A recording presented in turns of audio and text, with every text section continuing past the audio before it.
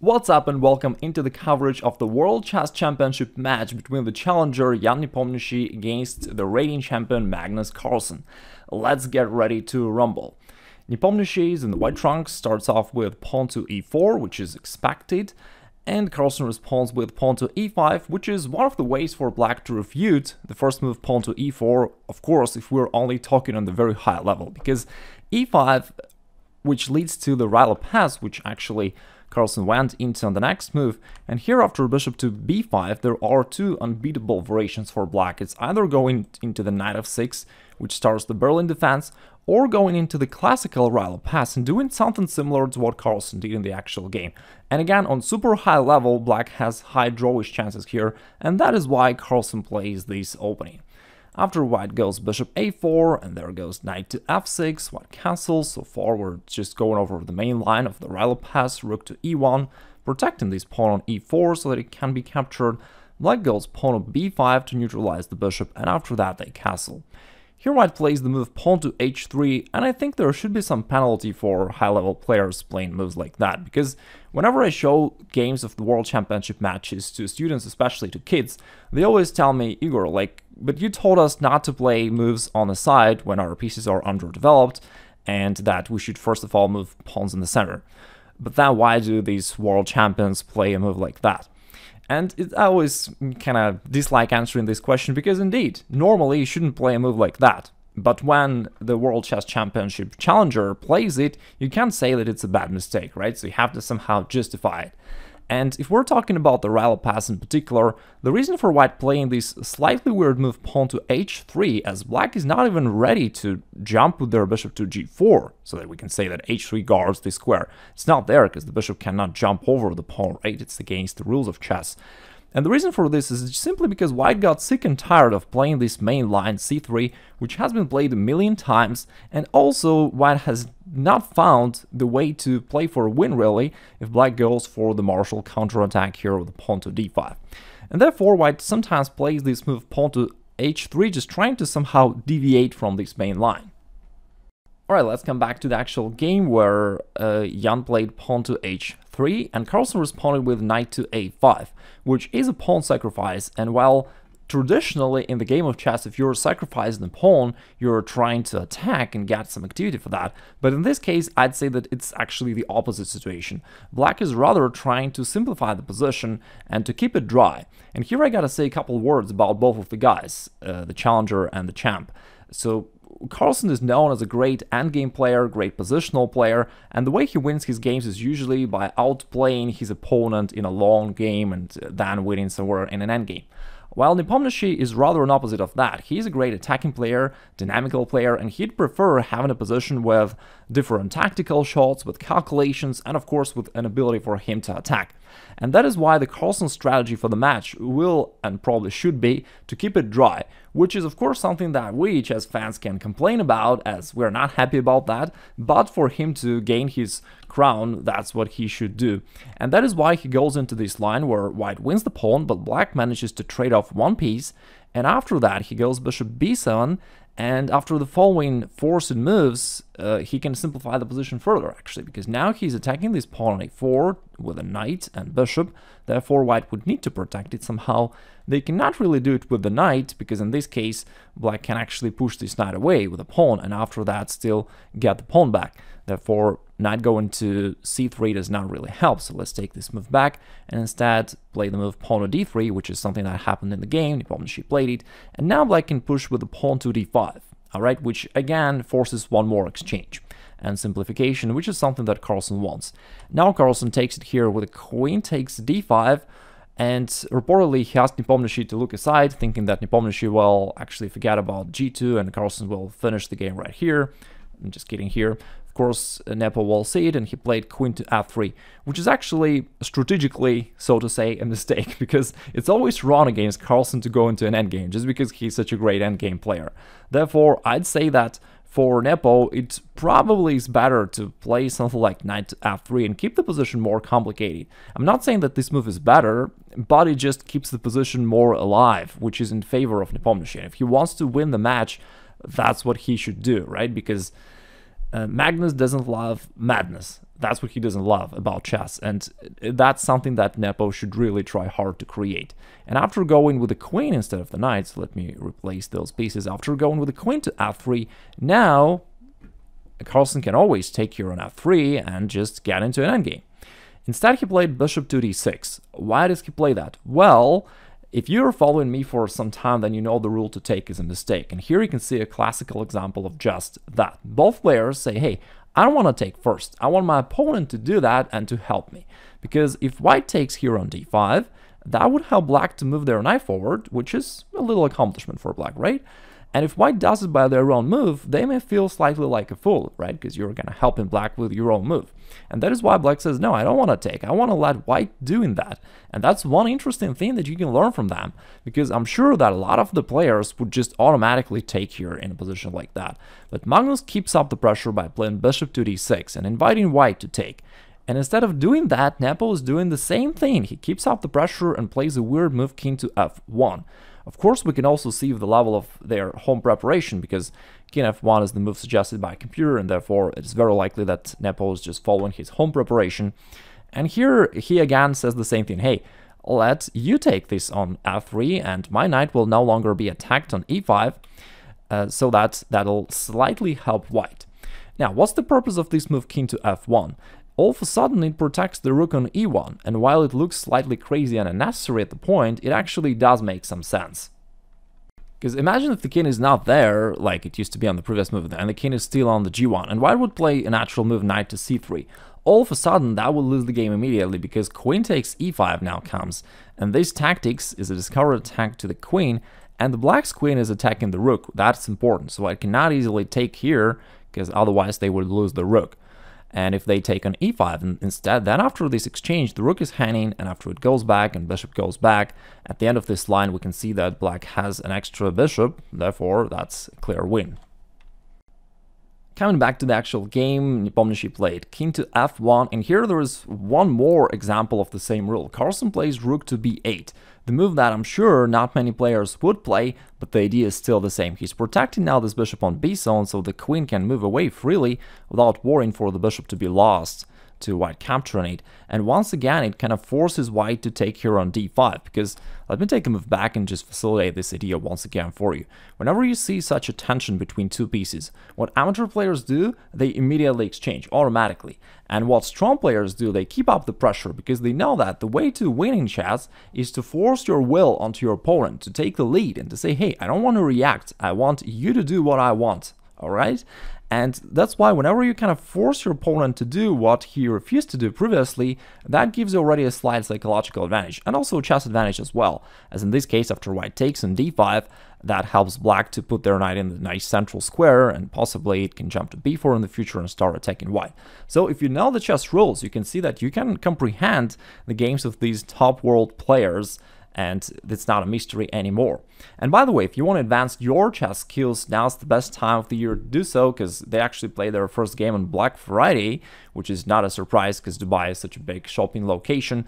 And in the Remote Chess Academy, we also have special offers where you can get any of our premium courses at 50% discount and also get one more course for free.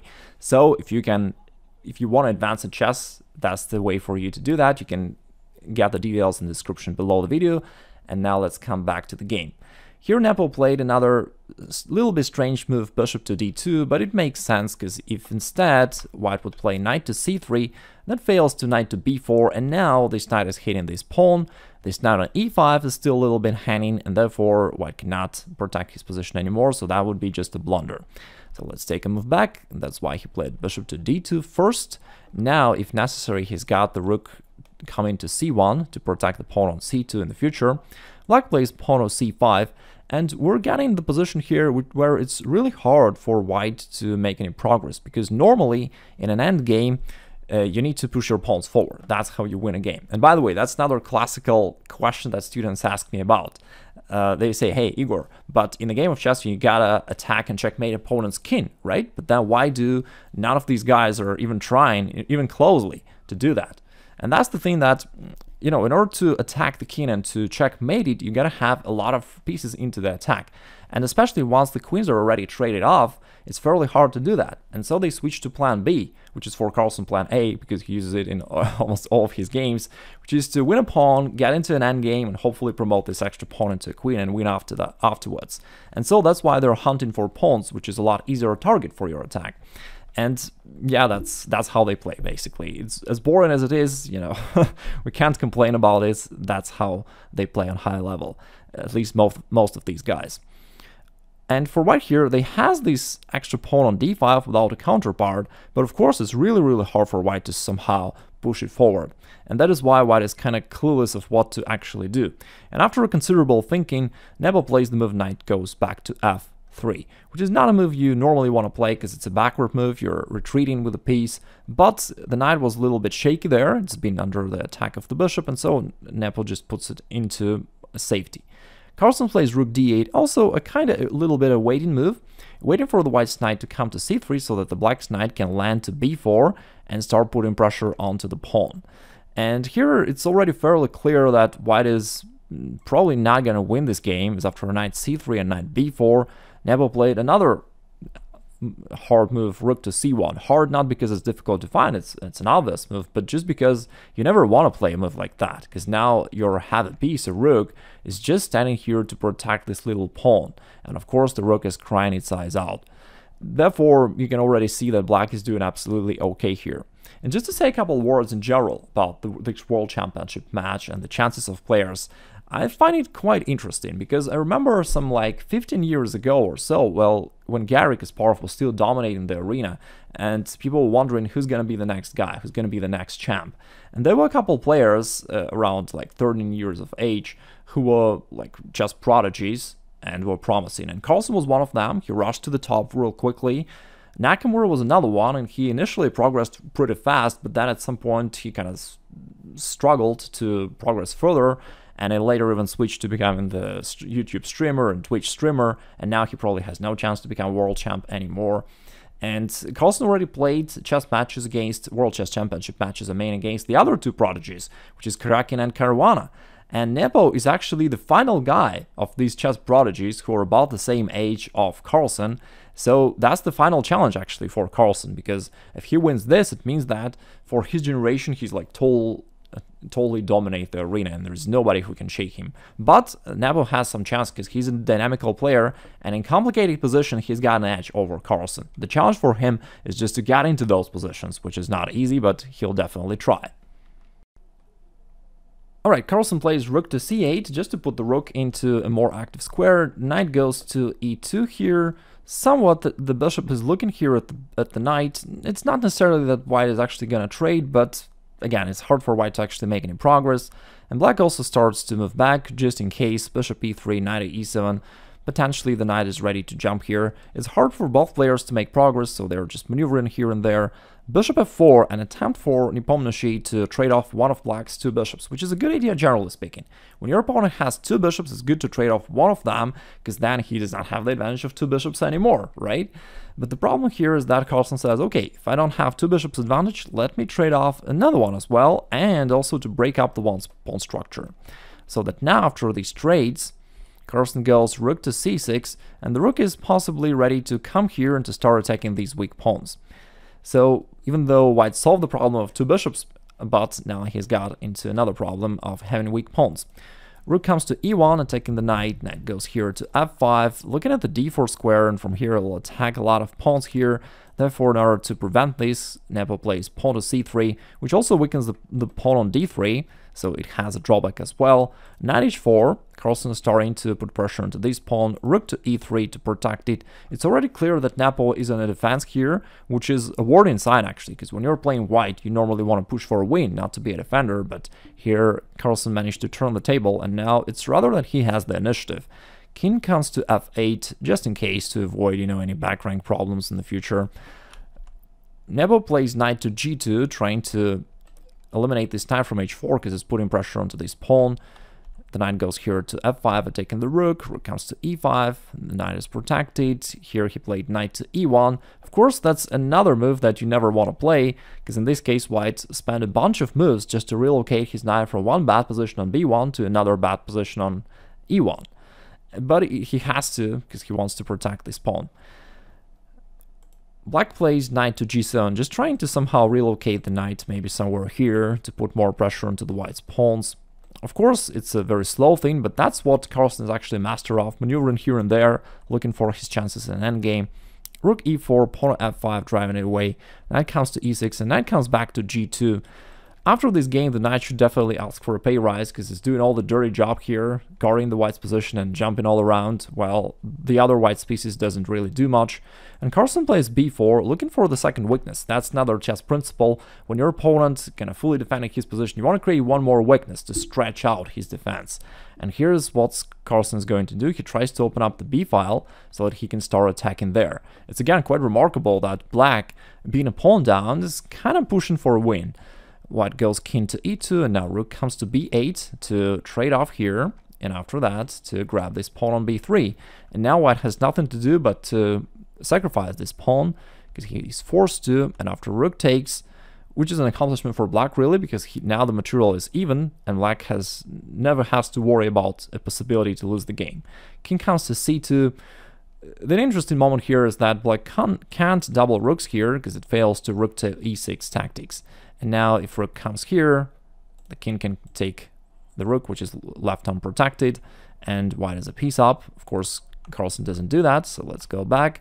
Instead, Carlsen plays rook to b7, and now pawn to h4, which is also more of a defensive move, prevents the knight from coming here potentially, and also white wants to push maybe and to trade pawns, because when you're a defender in an endgame, it's good to trade off all the pawns, because if you can get rid of all of them, it is just a draw, right, technically, so that's what you do. Black goes king to f7, and here white played rook to e1, saying that maybe I'm gonna play rook to b1 and find for the open file. Here Carlsen played king to f6, and it's actually interesting that he played that move, because it would be very much in Carlsen's style to play something like rook c to b6 trying to get rook to b2 check, and here a lot of the normal players would play rook to b1, one of the rooks, saying, hey, I want to also oppose my rook there, but it's actually a bad mistake, because now, after a massive trade on b1, Carlsen's got to move pawn to g5 to break through on the king side, and now after an exchange, not only this knight is hanging, but more importantly, black has this very strong passed pawn, which is going to be really, really hard for white to deal with. And this position is probably actually winning for black, or at least they've got great chances, because they have two pawns on the side of the board uh, where white will have a hard time controlling both of them. That's actually exactly how Carlsen wins the majority of his games, you know, doing something like that, where his opponent thinks that it's almost a draw, but Carlsen said, hey, not almost, and not a draw. okay. Okay, coming back to the actual game, that whole thing didn't happen. Carlsen played safe. He played king to f6, which is a safe move. Again, rook to b6 would be an attempt for black to play for a win, if black really wants to do it in this game. So rook b1 would be a bad mistake. They would have to cover this b2 square by playing rook to a2, and then black can try pushing the pawn, taking advantage of the rook, which is overloaded. It cannot go away, or else it would allow rook to b2. And so that would lead a more complex game, so black can keep pushing this pawn forward and somehow threaten to invade here.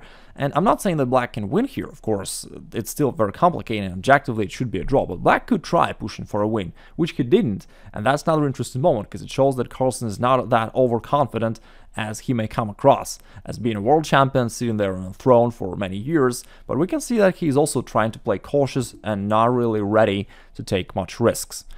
Alright, coming back to the game, here in this position he played king to f6, which leads to a boring position. Now knight comes to e3, rook comes to d7, and knight, knight to c4. Finally, this knight, after a very long journey, landed on c4. Of course, somebody may wonder why not to go there from b1 into 2 moves instead of doing that in 20 moves, but that's life. Not always it's that easy.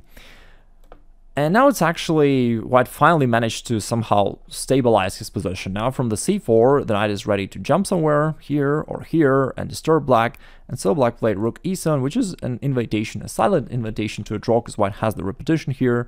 White can repeat moves like that, and black cannot avoid this because the rook can never go away from here because it has to protect the pawn on a6.